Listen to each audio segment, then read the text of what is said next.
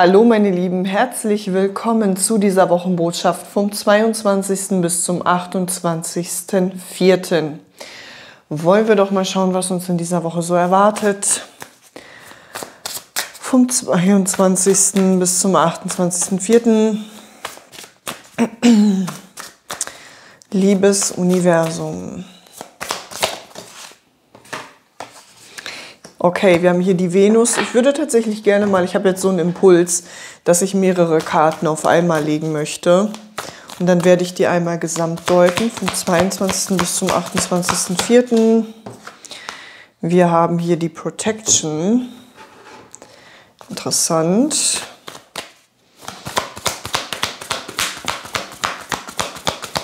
Zumindest erst einmal die Orakelkarten. Befrei dich von Negativität. Das gibt es doch nicht. Vollmond im Skorpion, meine Lieben. Wir werden in dieser Woche den Vollmond im Skorpion haben. Wie krass. Also jetzt ist tatsächlich genau die Karte hier gefallen, die von dem Vollmond im Skorpion spricht. Also wichtiges Event. Schau da mal in meine Astrologie-Vorschau. Da habe ich darüber berichtet, was das astrologisch gesehen für eine Energie hat diese, dieses Event. Und äh, ja, das äh, gibt es ja nicht. Das ist ja interessant. Also der ist wichtig, der Vollmond in dieser Woche. Und wir haben hier noch drei weitere Karten. Die lasse ich erstmal. Wobei, schauen wir mal, wir haben die Biene, wir haben die Wildkatze und wir haben die Sexualmagie. Okay, interessant. Die lege ich mal hier so zur Seite, weil ich hier tatsächlich mehrere Aspekte sehe, die in dieser Woche wichtig sein werden. Ich werde das gleich nochmal für euch komplett deuten. Also, was ich hier wahrnehme, ist, äh, dass es zum einen um das Beziehungsthema geht. Also Verbindungen, Beziehungen, das wird ein ganz großes Ding sein. Das wird sehr wichtig sein, deine zwischenmenschlichen Beziehungen. Die werden eine Rolle spielen und ich habe das Gefühl, dass das hier so ein, ähm, dass das irgendwie mit diesem Vollmond, dass das irgendwie mit dem Vollmond hier zusammenhängt. Also erst einmal die Skorpionenergie spricht eben auch von Sexualität. Wir haben hier die Sexualmagie, die hier gefallen ist. Wir haben die Wildkatze, die spricht von Gefahr und die Biene spricht von Möglichkeiten. Ich habe das Gefühl, dass sich in dieser Woche für dich Möglichkeiten auftun werden, zwischenmenschlicher Natur, dass du vielleicht ein bisschen hin und her gerissen bist. Du willst dich schützen, wir haben hier die Gefahr, also irgendetwas könnte vielleicht ein bisschen gefährlich sein. Oder wo du dich fragst, okay, ist das jetzt was? Tatsächlich, was mir hier direkt kam, ist zwischenmenschlich gesehen jemand, ähm, mit dem du, ähm, wo vielleicht eine stark sexuelle Anziehung besteht oder jemand, den du sehr attraktiv findest und vielleicht besteht da die Möglichkeit, in irgendeiner Form gemeinsam diese Beziehung weiterzuführen, auf welcher Ebene auch immer. Oder du lernst hier jemanden kennen oder das ist jemand, der schon in deinem Leben ist. Das ist völlig wurscht, das ist egal. Ähm, aber ich habe hier so das Gefühl, da ist vielleicht so eine Verlockung, die auf dich wartet. Und du fragst dich, ob es sich lohnt, ob es Sinn macht, ähm, dieser nachzugeben sei dir bewusst, dass du die Wahl hast mit der Biene. Ne? Also es gibt nicht nur eine schöne Blume, sondern es gibt mehrere schöne Blumen. Also nur weil du jetzt vielleicht eine schöne Blume hier kennengelernt hast, das ist vielleicht nicht die richtige Blume für dich. Ja, wenn du verstehst, was ich meine. Ähm, das ist so ein bisschen das, äh, was ich hier wahrnehme, dass das stark in so eine Richtung gehen könnte. Also ich glaube, dass hier tatsächlich vielleicht jemand eine sehr starke Ausstrahlung auf dich hat oder vielleicht mm, eine sehr, vielleicht besteht damit jemand eine stark sexuelle Anziehungskraft. Ja, ähm, das wird hier für einige der Fall sein oder eine Möglichkeit sein. Es muss aber nicht nur auf dieser Ebene sein. Es kann zum Beispiel sein, dass es hier generell um deine Beziehungen geht und dass du dich da so ein bisschen schützen willst. Ne? Auch hier, schaut mal die Venus, wir haben hier diese Perle, die da drin ist. Und ähm, die, die Muschel macht nicht für jeden hier auf.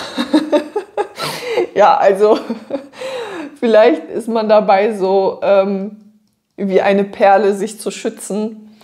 Ne? Weil wenn die aufgeht, die wird ja dann zerstört, die ist ja sehr fragil.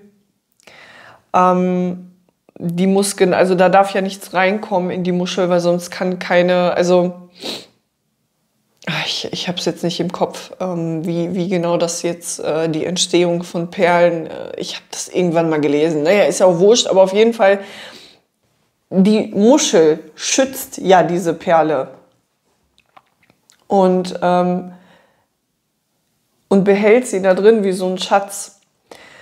Hier könnte es Einflüsse geben, die vielleicht negativer Natur sind, ähm, die vielleicht auch irgendwie gefährlich sind. Ne? Wildkatze, sei still und schärfe deine Sinne, denn es lauert etwas nebenbei. Also achte so ein bisschen auf dich, achte auf deine Energie.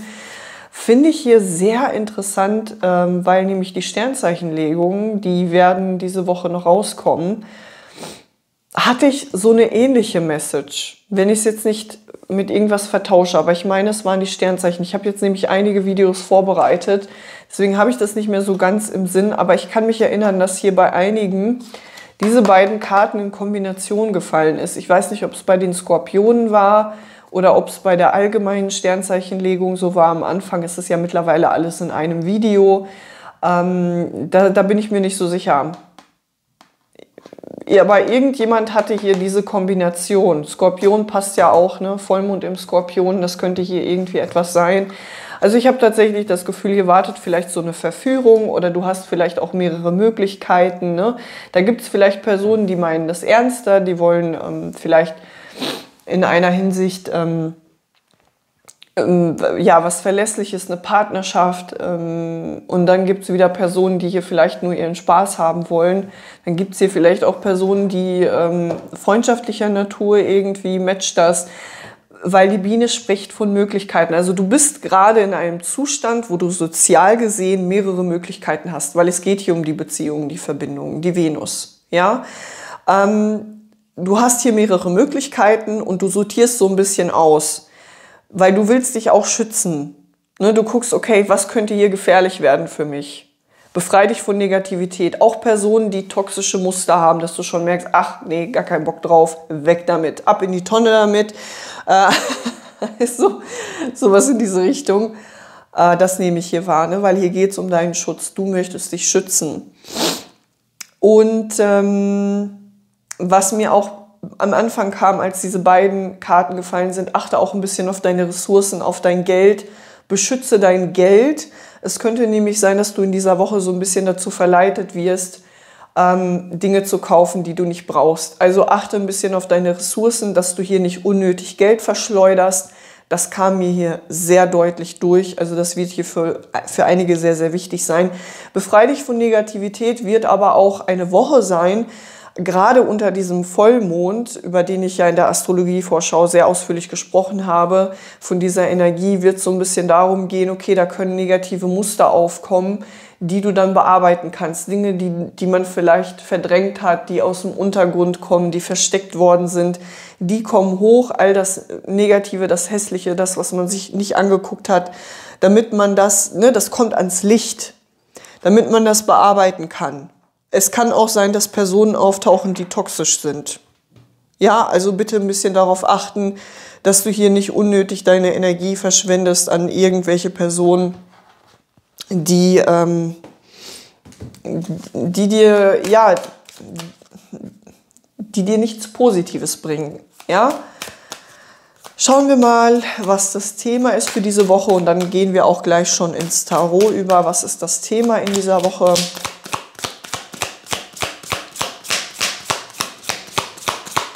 Was ist das Thema in dieser Woche?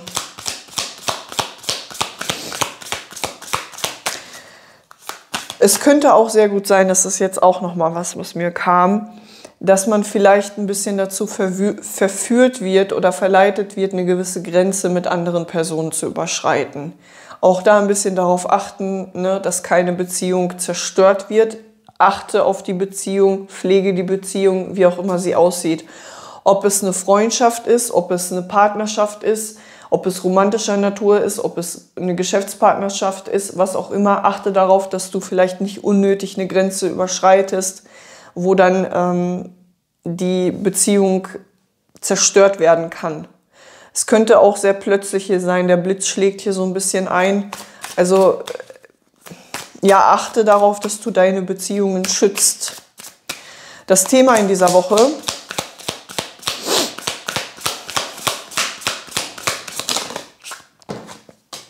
das Schiff und die Fische. Ich sehe eine Reise, ich sehe einen Fortschritt, ich sehe, dass du vorankommst. Auch finanziell gesehen sehe ich einen Fortschritt. Ähm, es könnte auch sein, dass du deine Finanzen in eine Reise investierst oder dass du viel Geld auf, ausgibst in Bezug auf eine Reise, einen Aufbruch, irgendeine Weiterentwicklung, ähm, dass du da sehr viel rein investierst. Das nehme ich hier mal. Also es könnte sehr gut sein, dass vielleicht eine Reise ansteht, dass du eine Plans buchst, was auch immer ähm, dass du vielleicht auch viel Geld in Fortschritt investierst. Ne? Auch das habe ich hier schon gesagt, meine Lieben. Achtet so ein bisschen auf euer Geld. Also es wird darum gehen, dass ihr die Venus schützt in dieser Woche. Sowohl finanzieller Natur als auch ähm, beziehungstechnisch. Weil die Venus steht für beides. Sie steht für unsere Werte, sie steht für das Geld, sie steht für den Selbstwert Sie steht aber auch für unsere zwischenmenschlichen Verbindungen. Und es geht so ein bisschen darum, dass du diese schützt in dieser Woche. Ja, achte auf deine Perle hier. Was auch immer deine Perle hier ist. Ob das dein Geldbeutel ist, ob das dein Selbstwert ist, was auch immer. Ähm, ich sehe, du bewegst dich nach vorne. Ne? Reise, Fortschritt und so weiter. Irgendwas Neues gibt es zu entdecken. Und finanziell, ähm, geldmäßig könnte das eben ein bisschen den Geldbeutel, ich wollte schon sagen, auseinandernehmen, das kann sein. Oder du bist vielleicht dazu verführt, verführt sehr viel Geld auszugeben. Äh, das ist eine Möglichkeit. Also achte so ein bisschen darauf, was ist es dir wert? Ne, das heißt jetzt nicht, dass du hier gar, gar nichts ausgeben sollst oder nichts wagen sollst. Das bedeutet einfach nur, dass du ein bisschen darauf achtest. So. Es könnte auch sein, dass du finanziell gesehen in etwas investierst, was dich weiterbringt, also irgendeine Form von Fortschritt. Irgendwelche Gegenstände, die hilfreich sind, irgendwelche Kurse, die dich weiterbringen, also was irgendwie deinen Horizont auch erweitert. So, ich würde jetzt ganz gerne die Tarotkarten auslegen. Da würde ich jetzt auch gerne mal alle auslegen und die dann gesamt deuten. Wir haben hier die 10 der Stäbe. Wir haben die Mäßigkeit. Ja, achte auf jeden Fall auf das richtige Maß. Uh, wir haben die 2 der Kelche. Also Beziehungen, ne? Also es spiegelt sich hier definitiv wieder. So, was haben wir hier noch? Wir haben die hohe Priesterin. Okay, das sind erstmal alle. Dann haben wir hier noch die Kraft und die zweite Stäbe. Ja, das richtige Maß ist entscheidend. Aber sowas von. Achte wirklich darauf. Es könnte so ein bisschen sein, dass du eine Grenze überschreitest, unnötig überschreitest, die du nicht überschreiten solltest. Du bist dazu verführt, irgendetwas zu tun, was vielleicht auch nicht, dass mir hier gleich meine Blume abfackelt, ähm, da haben wir es wieder, ne? Verbrenn dich nicht. Ähm, es könnte sehr gut sein, dass du dich zu einem Verhalten hinreißen lässt, wo du vielleicht eine gewisse Grenze überschreitest. Achte darauf, dass du das nicht tust. Ich sehe, du hast dich tatsächlich gut im Griff, wenn du darauf achtest. Wir haben die zehn der Stäbe hier es könnte sehr, sehr gut sein, dass deine Woche stressig anfängt oder dass hier sehr viel zu tun ist. Vielleicht passiert auch sehr viel auf einmal. Es könnte sein, dass du dazu neigst, dich zu überfordern in dieser Woche, dass du gestresst bist, dass du viel zu tun hast, ähm, dass irgendwas super anstrengend ist. Gleichzeitig sehe ich aber auch, dass du auf das richtige Maß achtest, also dass du das ausgleichst, dass du auch wieder ähm, Tätigkeiten einbaust in deiner Woche, die dir gut tun die dich so ein bisschen wieder in deine Mitte bringen, wo du dich entspannen kannst. Also du findest auch Zeit für Entspannung. Also in dieser Woche ist viel Arbeit zu sehen, aber gleichzeitig auch Entspannung, Heilung und äh, das richtige Maß. Wir haben zwei Karten, die von dem richtigen Maß sprechen, die Mäßigkeit und die zwei der Stäbe. Da geht es bei beiden Karten darum, in die Mitte zu kommen, in die äh, Neutralität zu kommen. Und schaut mal, die Hohepriesterin ist auch da. Das ist auch nochmal eine Bestätigung, die ist ähm, diejenige, die abwartet, die auf ihr Gefühl hört, ähm, die richtigen Entscheidungen trifft, aus der Ruhe heraus, aus ihrer Mitte heraus. Achte sehr stark auf deine Intuition in dieser Woche. Sie wird dir schon sagen, was richtig ist. Ich glaube tatsächlich, dass du eher das Vernünftige machst in dieser Woche. Also du wirst nicht unvernünftig. Es könnte hier so eine Verlockung geben. Du könntest vielleicht auch spüren, dass da irgendwie etwas ist. Aber ich sehe keine größere Gefahr, die hier droht. Ich glaube eher, dass du dir bewusst bist, dass wenn du eine gewisse, einen gewissen Schritt tust, dass du damit nur dir und vielleicht sogar anderen schaden würdest und dass das keine gute Wende nehmen würde. Deswegen bleibst du auch bei dir. Du hast nämlich die Wahl. Machst du das so oder machst du es so? Und ich sehe, du wirst die richtige Entscheidung treffen, weil dir einfach die Mäßigkeit, die, Herrsch äh, die Hohepriesterin und die zwei der Stäbe liegen. Und das sieht für mich schon sehr vernünftig aus. Also da wirst du schon die richtige Entscheidung treffen. Da brauchst du dir keine Sorge zu machen. Finde ich toll. Ich bin stolz auf dich. Also du wirst dich richtig entscheiden. Wir haben hier die zwei der Kelche die ähm, von Verbindungen, Beziehungen sprechen. Also hier sind harmonische Beziehungen, hier sind Beziehungen auf Augenhöhe. Und ich sehe auch mit der Kraft, dass du hier sehr viel Spaß und Freude haben wirst. Hier ist sehr viel Lebendigkeit. In dieser Woche wird dich etwas erwarten, was von Kraft, ja, du wirst dich sehr kraftvoll fühlen, du wirst dich voller Energie fühlen, du wirst Spaß haben, du wirst lachen, vielleicht gehst du auf eine Party, vielleicht hast du hier ähm, ein ganz tolles Kennenlernen mit einer Person, mit der du super viel Spaß hast. Auch da sehe ich, du findest das richtige Maß.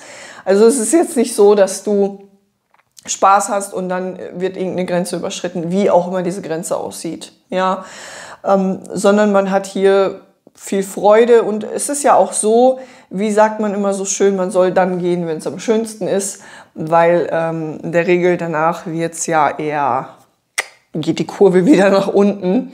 Wenn man das nicht mehr toppen kann, äh, dann kann sich das Blatt auch schnell wenden. Und äh, hier habe ich so, ich, spüre das hier so, dass du hier Spaß hast, vielleicht in Gesellschaft von mehrerer Leute, du bist auf einer schönen Veranstaltung oder es ist irgendwie ausgelassen, es ist toll, aber dann weißt du auch, wann Schluss ist. Ja, das ist jetzt hier nicht so, dass du dann ähm, irgendwie übertreibst oder was weiß ich nicht was. Äh, nö, sondern das sieht hier gut aus. Könnte so aussehen, man sagt was Blödes, ne, wenn man eine Grenze überschreitet, man macht irgendwas, was man nicht hätte machen sollen, man ähm, macht irgendein Verhalten, was nicht gut für dich ist und was nicht gut für andere ist. Also es kann unterschiedlich aussehen. Du weißt hier, wo die Grenze ist, du weißt, wann das Maß erreicht ist und dann ist auch gut. Also du strapazierst das hier nicht über und du ähm, reizt das auch nicht aus hier.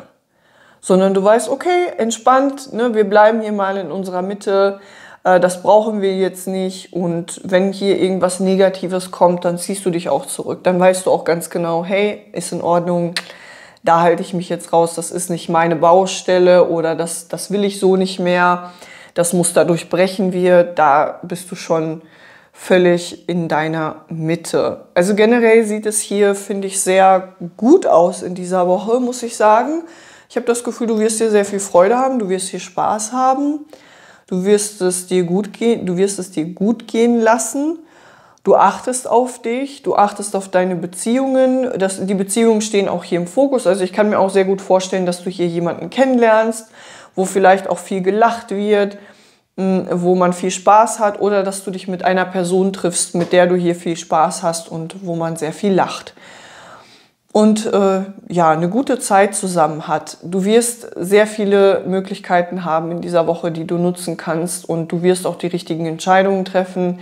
Da, wo du merkst, okay, das ist ein bisschen gefährlich, das lassen wir mal sein.